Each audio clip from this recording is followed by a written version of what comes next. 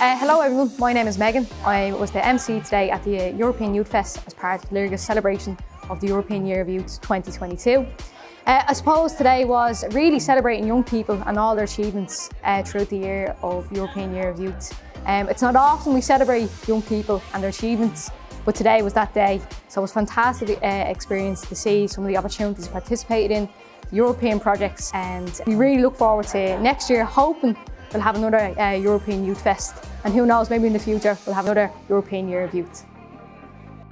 Today was amazing. I honestly had so much fun. I'm glad I got to explore like how the app actually works. I'm glad I got to give my feedback and I'm hoping they'll take my feedback into consideration and stuff to help develop the app to be better than it already is. Uh, I'm here with uh, WSTCYS, and we're just here to kind of have fun and kind of learn about different opportunities for young people. It was really fun. I got to do lots of things. I went over there and I heard about the jigsaw talking about mental health for youth it's been really a really great experience. Um, I met a lot of new people and uh, I liked interacting with like all these different types of people. It's been great, yeah. I'm particularly interested in the Discover EU Inclusion project where young people who are 18 get a chance to interrail around Europe um, for the summer, um, which is a, a new opportunity that I've heard about. And I suppose just to continue the work I'm doing already with the Erasmus Plus youth exchanges.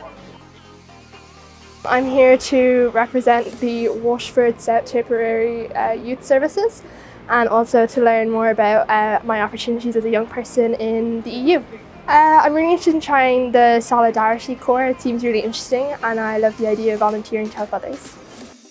It was really good, really informative. Um, the food was lovely and the activities were great, so it was a very nice time.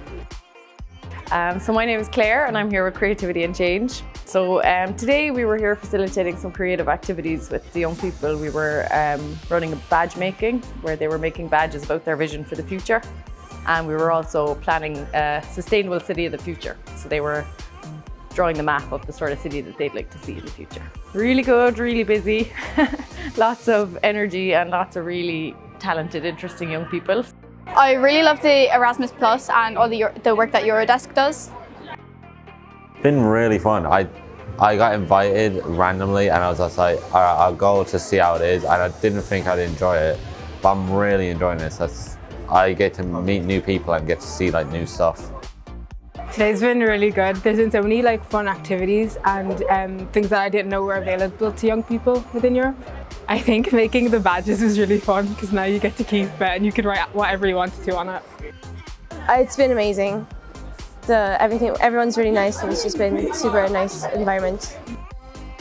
It's been great. There's been a lot of nice workshops with um, Jigsaw and a lot of other things.